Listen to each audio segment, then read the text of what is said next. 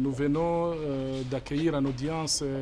une délégation de très haut niveau des Nations Unies conduite par Madame Bintou Keïta, qui est la sous-secrétaire générale en charge de l'Afrique. Euh, elle est venue avec un objectif euh, de rencontrer la partie burundaise pour discuter de l'état de coopération entre le Burundi et les Nations Unies, non seulement avec le siège, mais aussi avec les, ses démembrements basés ici, notamment les agents des Nations Unies basés à Bujumbura. Donc, euh, Madame Bintou est accompagnée par l'envoyé spécial dans la région des Grands Lacs,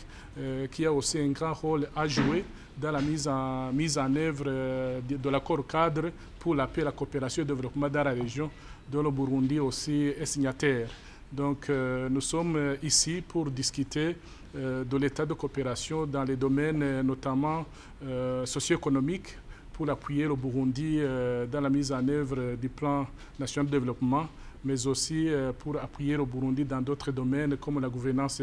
la gouvernance économique, la gouvernance politique, etc. etc. Donc nous pensons que cette rencontre va être euh, un coup d'envoi à une euh, coopération accrue entre euh, les Nations Unies et le gouvernement du Burundi.